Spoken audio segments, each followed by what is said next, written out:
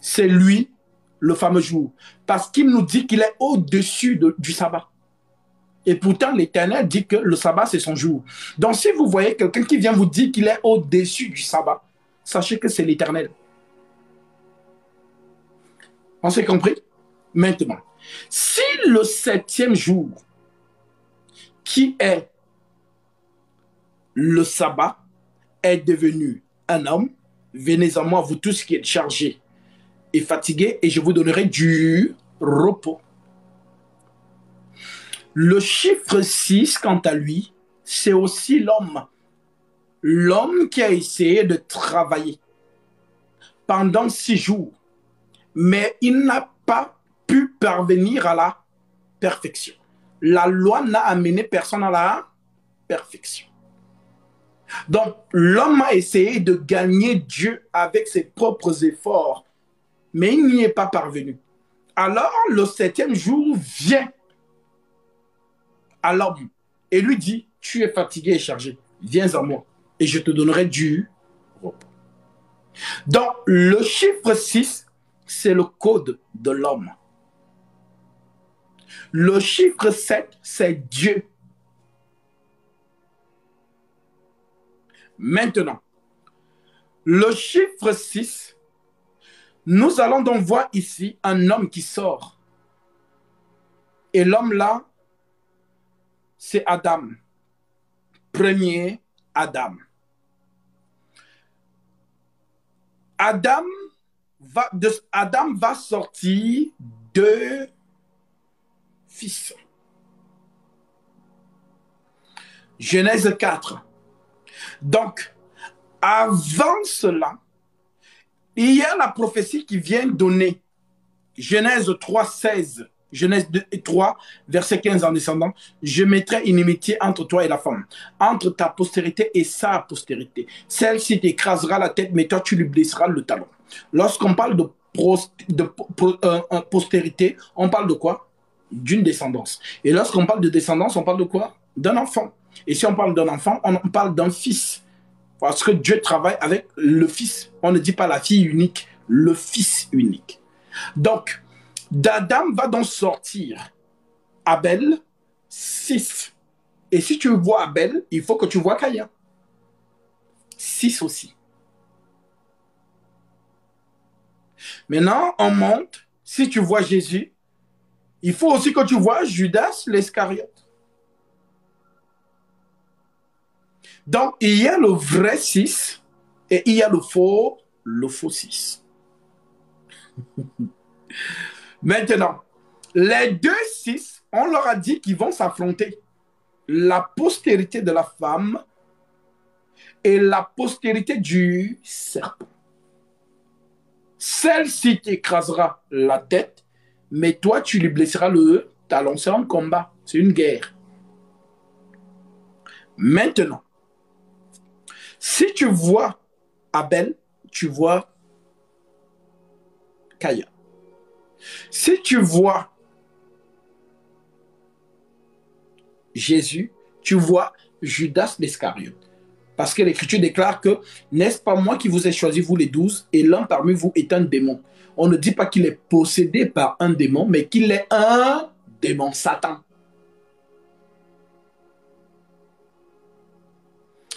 Excusez-moi, je vais bloquer un parasite qui s'ennuie. Maintenant, est-ce que vous les voyez sur terre là? Non. Est-ce que vous les voyez? Non. Vous ne voyez ni Jésus, ni Satan. Ils ne sont pas là. Mais leur esprit travaille dans le secret. Paul va appeler la postérité, lui va changer de langage. Il ne va pas dire postérité du serpent, postérité de la femme. Non, lui va dire mystère de la piété et mystère de l'iniquité. Maintenant, définition. Le mystère de la piété, c'est quoi? Conformément à 1 Timothée 3,16, le mystère de la piété est grand. Dieu a été manifesté en chair, justifié par l'esprit, vu des anges, prêché aux gentils, cru dans le monde et élevé dans la gloire. Ça, c'est Dieu qui est devenu un homme. Maintenant, le ministère de l'iniquité, c'est aussi Satan qui devient un, homme. Maintenant, actuellement, les deux, on ne les voit pas. Nous avons le Saint-Esprit qui travaille dans l'Église. Et nous avons l'Esprit de Satan qui travaille aussi dans le monde. Voilà pourquoi Jésus dit, Jésus dit, vous n'êtes pas du monde comme moi, je ne suis pas du monde. Donc, nous sommes sur la terre, mais nous ne faisons pas partie de cette terre-là. Alors, l'Esprit de Dieu travaille dans le subliminal, l'Esprit de Satan travaille aussi dans le subliminal. Maintenant, on dit qu'il va s'incarner, c'est ce que Jésus a dit. Je suis venu au nom de mon Père et vous ne m'avez pas reçu. Mais si un autre vient en son propre nom, vous le recevrez. Il a prophétisé. Donc, lorsque Satan sera sur terre, il va prendre les règnes de la terre. Il va dominer sur cette terre comme étant le roi souverain, César. Nous l'avons vu avec César. Pilate a posé la question aux sacrificateurs juifs et à l'Assemblée d'Israël. Voulez-vous que je vous relâche votre roi, Jésus le roi des Juifs? Ils ont dit non, nous n'avons pour roi que César. Et quiconque se fait roi se fait ennemi de César. Alors nous comprenons qu'il n'y a pas de place pour deux rois sur cette terre. Maintenant, si tu l'as compris, ce faux roi, ce faux six, sera en train de régner sur la terre. L'Église ne sera plus là. Maintenant, pendant son règne, il va donc aussi asseoir son allocution. Parce qu'un roi, chaque royaume a sa loi. Donc, quand on dit la marque de la bête, on, il y a la bête et il y a la marque de la bête. Voilà pourquoi l'Écriture vous dit dans Apocalypse 18, 13. Ma soeur, tu peux nous lire ça. Vous allez comprendre pourquoi ce verset est bizarre. Écoutez ce qu'on dit de ce verset. Apocalypse chapitre 18, verset 13. De cannelle, d'aromates, de parfum, de myrrhe. Apocalypse chapitre 13. De vin. Apocalypse chapitre 18, verset 13. Autant pour moi. Ah, ah, Apocalypse 18, verset 13. Oui, si je me. je pense que c'est bien ça, oui. Euh, de cannelle, d'aromates. Ah, d'accord. Autant de pour moi. parfum. C'est Apocalypse 13, 18. Autant pour moi. Apocalypse 13, 18.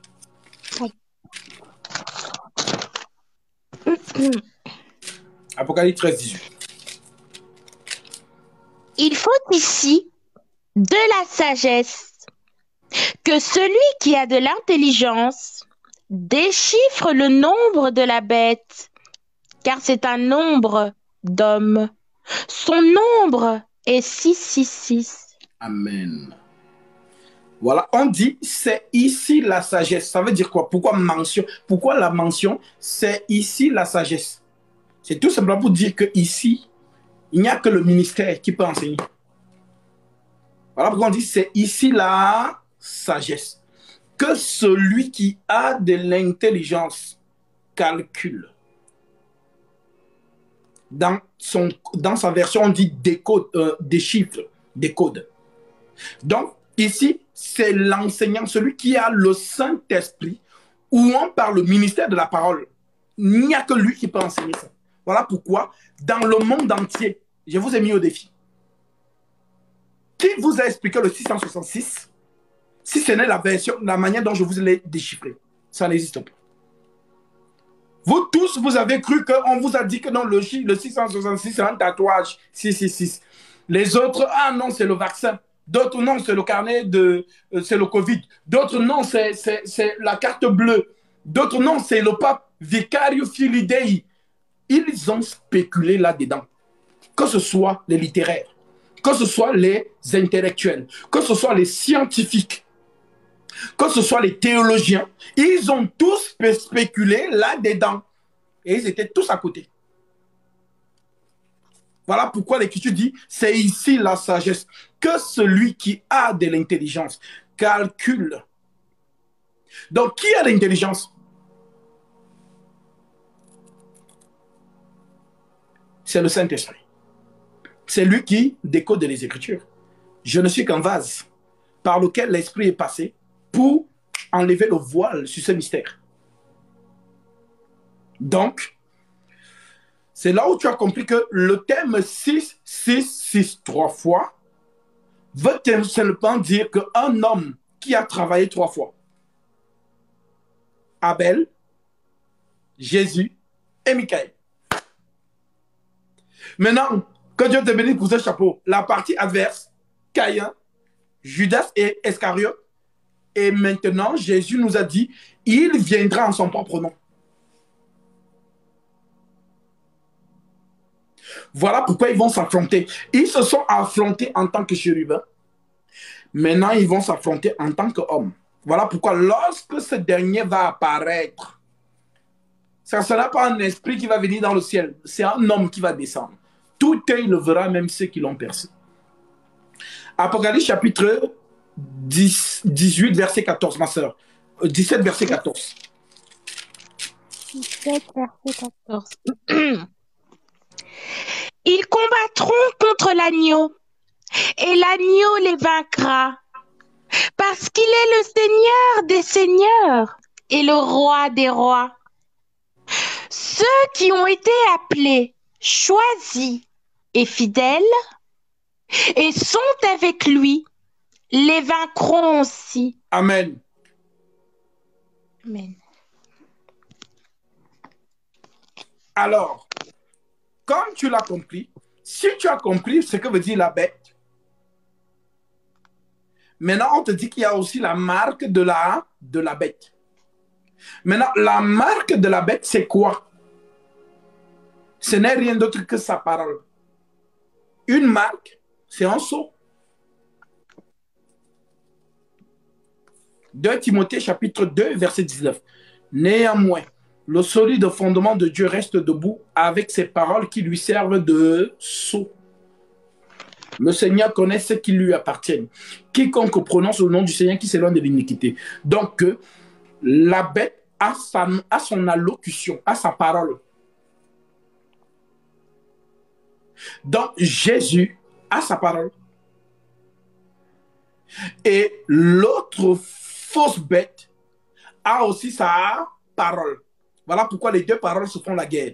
On les voit dans le, dans le jardin d'Éden. Le Seigneur parle à l'homme. Tu, le jour où tu en mangeras, tu mourras. Le diable parle à la femme. Non, tu ne mourras point. Donc, il y a deux paroles dans le jardin d'Éden qui se font la guerre depuis le jardin d'Éden. Donc, avant, les gens sont là sur terre. Ils sont en train d'attendre une marque de la bête imaginaire, alors que la marque de la bête est déjà sur terre. La marque de la bête, c'est quoi? C'est la locution de cette bête. Donc, le Seigneur a sa marque, c'est sa parole, son sceau. Le diable a aussi sa parole, a aussi sa parole, c'est son sceau aussi. Maintenant, la parole de Jésus dit, le jour où tu mangeras, tu mourras. La parole du diable dit, tu ne mourras point. Maintenant, nous retrouvons les deux dans le désert. Ma soeur, lis-nous ça, Luc chapitre 4. Je vais terminer par là. Et nous allons lorsque nous allons maintenant entrer dans Apocalypse chapitre 6, vous allez donc maintenant mieux comprendre les choses.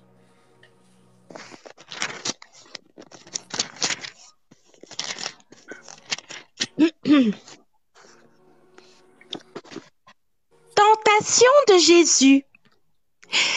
Jésus, rempli du Saint-Esprit, revint du Jourdain. Il fut conduit par l'Esprit dans le désert où il fut tenté par le diable pendant quarante jours. Il ne mangea rien durant ces jours-là. Et quand cette période fut passée, il eut faim. Le diable lui dit, Si tu es le Fils de Dieu, ordonne à cette pierre de devenir du pain. Jésus lui répondit, il est écrit, L'homme ne vivra pas de pain seulement, mais de toute parole de Dieu.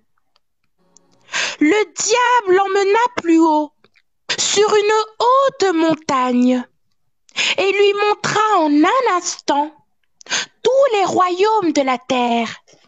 Puis il lui dit, Je te donnerai toute cette puissance et la gloire de ces royaumes, car elle m'a été donnée, et je la donne à qui je veux. Si donc tu te prosternes devant moi, elle sera tout à toi. Jésus lui répondit, Retire-toi, Satan.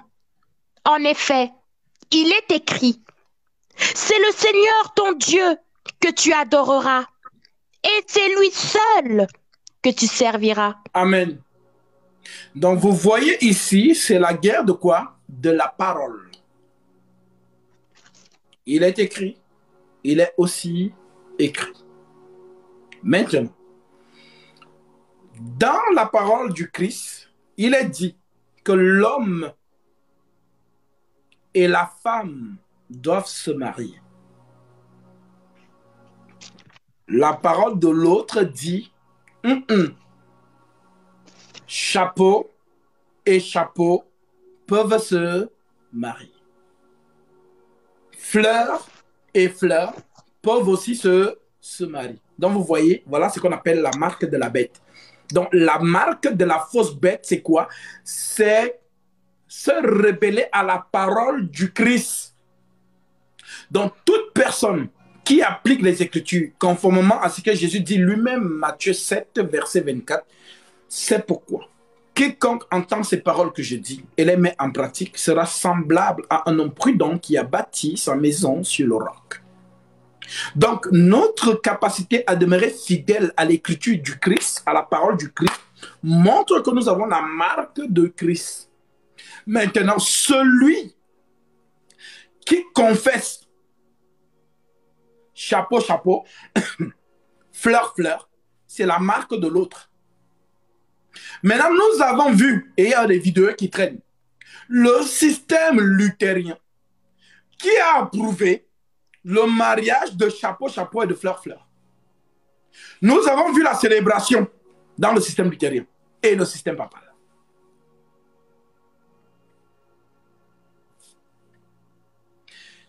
Je code parce que voilà, je ne veux pas que... Voilà, vous comprenez? Donc, que le Seigneur vous bénisse. Nous allons continuer demain. Et je vous donne l'écriture qui conclut notre enseignement d'aujourd'hui. Apocalypse chapitre 22. Chapitre 20, autant pour moi. Euh,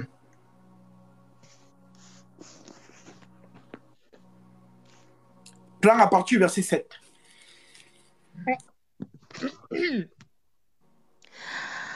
Quand les mille ans seront passés, Satan sera relâché de sa prison et il sortira pour égarer les nations qui sont aux quatre coins de la terre, Gog et Magog, afin de les rassembler, afin de les rassembler, pardon, pour la guerre. Elles sont aussi nombreuses que le sable de la mer. Ils montèrent sur toute la surface de la terre et ils encerclèrent le camp des saints et la ville bien-aimée. Mais un feu, venu de Dieu, descendit du ciel et les dévora. Amen. Maintenant, on va lire Ézéchiel. Lisons Ézéchiel vite fait, on termine dessus. ah, gloire à Jésus-Christ. Ézéchiel 28, on y était. Ézéchiel. Allez.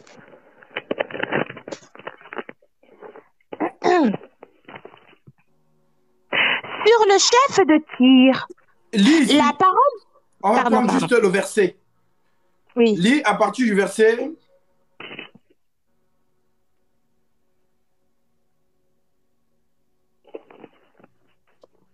Lis à partir du verset 17 jusqu'au verset 18. Et là, vous allez comprendre Apocalypse 20 que nous venons de lire.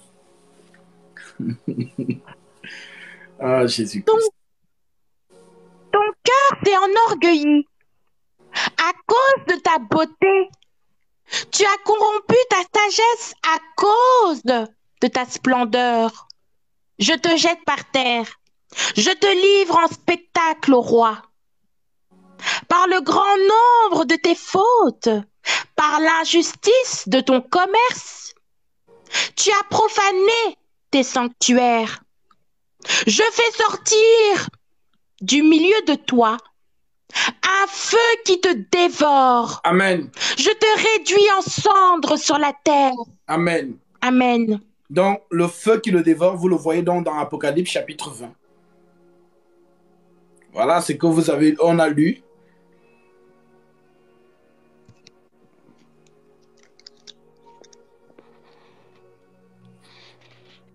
L'Écriture dit, quand les, mille, quand les mille ans seront accomplis, Satan sera relâché de sa prison et il sortira pour séduire les nations qui sont au quatre coin de la terre, Gog et Magog, afin de les rassembler pour la guerre. Leur nombre est comme le sable de la mer, et ils montèrent sur la surface de la terre, et ils investirent le camp des saints de la ville bien-aimée. Mais un feu descendit du ciel et les dévora. Que la parole de Jésus-Christ soit glorifiée. J'espère que vous avez compris. La nourriture est pour vous. Mangez. Et que Dieu vous bénisse.